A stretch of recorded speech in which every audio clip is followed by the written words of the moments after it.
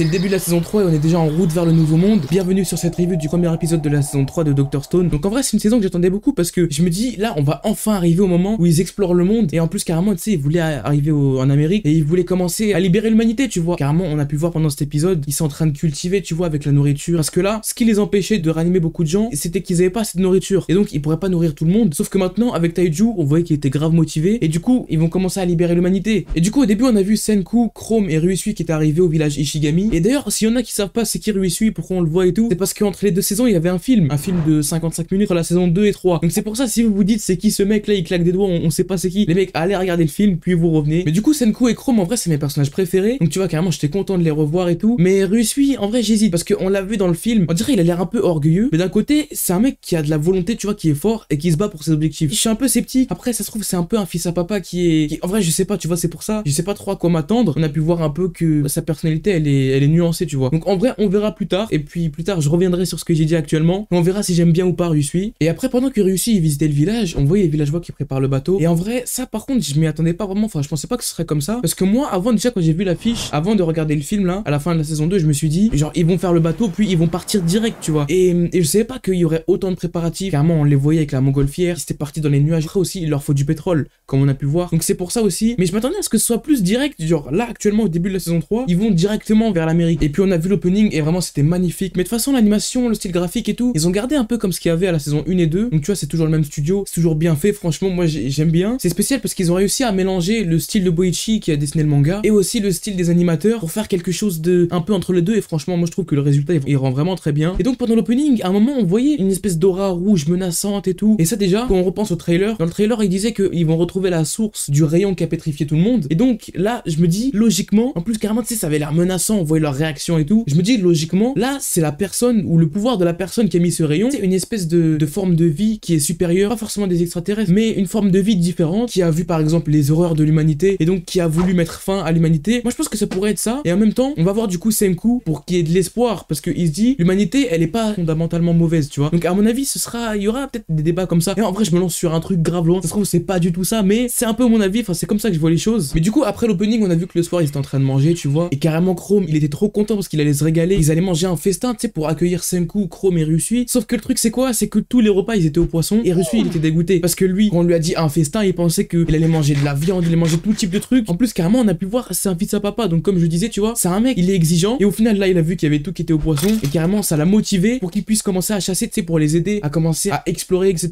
Carrément après on a vu ils ont cartographié comme ça ils pourraient chasser et ils pourraient se repérer sans non plus se perdre tu vois parce qu'ils ont dû rester au village pour leur bah, pour leur sécurité tout simplement. Et du coup je me dis ça par contre comme je disais ça pourrait être vraiment intéressant. S'il a de la volonté et que si vraiment si vraiment ça le dérange de pas être dans la vie qu'il avait avant et bah peut-être qu'il ferait les efforts pour arriver à cette vie et donc il ferait en sorte d'avancer un maximum et d'aider Senku et tout. Parce que lui aussi ils l'ont ressuscité parce que c'est un mec qui maîtrise bien la, navigation qui maîtrise bien le bateau etc bah c'est un atout tout simplement. Donc c'est pour ça aussi il pourrait être très utile. Et puis le lendemain on a vu Kohaku qui était monté sur la montgolfière avec Senku pour cartographier du coup ce qu'il y a autour. Comme ça tu vois il pourrait chasser il pourrait explorer et il pourrait bien se repérer tu vois. Et du coup on a vu que quand même c'était stylé parce qu'il y avait un parallèle avec Minecraft il y avait une référence à Minecraft et ça ça m'a surpris quand je l'ai vu parce que si j'ai vu les cubes et tout et en plus je voyais des gens qui disaient ouais c'est pas Minecraft c'est euh, Block World ou Block Cube ou je sais pas quoi. Eh, c'est pareil frère c'est Minecraft c'est bon. Là clairement ça faisait penser à Minecraft. Et même en plus après on a vu tu sais ils ont trouvé un troupeau de chèvres et, et comment il s'appelle déjà le mec? Mais bref le mec qui entend bien avec l'arc là. Et bah lui il avait battu une chèvre il l'avait tué et ils avaient représenté ça un peu sur Minecraft tu vois. Donc avec les textures un peu cubiques carrées et tout. Et ça je trouvais que c'était stylé parce que ça, fait euh, une petite référence comme ça. En vrai j'aimais bien j'aime bien quand il y a des petites références comme ça des fois qui sont discrètes. Bon là elle était pas vraiment discrète c'était évident. Tout le monde l'a remarqué. Mais parfois tu vois c'est des petites de références discrètes par exemple. Et ça j'aime bien. Mais du coup après on a vu le soir ils sont rentrés et ils ont terminé la carte tu vois. Et pour la carte du coup ce qui est intéressant c'est quoi? C'est que même si Senku Rome tout ça ils vont partir en Amérique les villageois qui doivent rester là eux ils vont plus dépendre du poisson. Parce qu'avant tu vois ils devaient tout le temps pêcher. Et le problème c'est que les années où bah tu sais il y a pas assez de poissons ils font des mauvaises pêches. Et bah le truc c'est qu'il y en a plein qui mouraient de faim. Enfin ils dépendaient que du poisson. Sauf que maintenant ils vont pouvoir chasser ils ont amélioré leur situation. Donc ça c'est bien parce que au moins tu vois ils pourront être en Amérique tranquillement. Ils auront pas à soucier de, l'alimentation des villageois. Et ça c'est bien. Et de toute façon on a pu voir aussi qu'avant ils avaient trouvé des champs de blé. Donc tu vois ça aussi ils l'ont mis sur la carte. Et ils vont plus dépendre seulement de la pêche et aussi de la cueillette. Enfin ils faisaient même pas de cueillette parce que du coup ils restaient au village. Mais là tu vois il y a aussi les champs. C'est à dire qu'ils vont pouvoir commencer de l'agriculture. Et en plus c'est un coup ça l'arrange. Parce que quand il était sur la montgolfière il avait dit il faut quelque chose pour le voyage qui est léger et qui est très nutritif. Comme ça du coup ça peut les nourrir. Et en même temps ça, ça prend pas trop de poids sur le bateau. Et donc ça tu vois ça ça les arrange. S'ils vont faire du pain avec le blé ça c'est quelque chose qui correspond bien. Et c'est bien parce qu'ils avancent sur plein d'aspects différents. Et avant, tu vois, par exemple, c'était pour les déplacements. Ils ont fait un véhicule, ils ont fait une montgolfière et tout. Après, il y avait aussi, par exemple, le repérage, tu vois, pour pas se perdre. Et bah, avec Kohaku, ils se sont servis du véhicule pour pouvoir faire une carte, voire cartographier. Et donc là, maintenant qu'ils ont trouvé ce champ de blé, ça les arrange aussi parce que du coup, pour la nourriture, ils ont pu se développer. Maintenant, ils vont pas dépendre que de la cueillette, comme j'ai dit, mais aussi ils vont pouvoir cultiver leur propre nourriture, tu vois. Et ça, c'est bien. Et après, il y a un moment que j'ai trop kiffé, c'est quand ils sont en train de filtrer le blé et tout. Et on voyait Russie qui est en train de dire, maintenant qu'ils ont du blé, ils vont pouvoir commencer à faire des gâteaux, des brioches, des pains au chocolat et tout. Et Kohaku, vu que elle, bah, elle connaît pas tout ça, vu qu'elle vient pas du monde moderne, elle a demandé ce que c'est une brioche, tu sais. Elle disait carrément, on dirait une attaque. Elle a fait un kamehameha, mais elle criait brioche, tu vois. Donc ça, et on a vu encore la, la référence à Dragon Ball. Ça fait plusieurs références qu'on voit. Et maintenant, la prochaine référence qu'il faut, c'est une Jojo référence. En plus, ça, c'est pas compliqué à mettre, comme j'ai dit tout à l'heure. Moi,